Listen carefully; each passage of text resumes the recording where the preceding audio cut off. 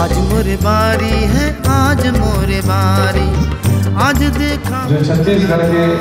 बढ़िया बढ़िया प्रतिभा है, वो देश, दुनिया के सामने आए, देश टीवी के माध्यम से आए, ताकि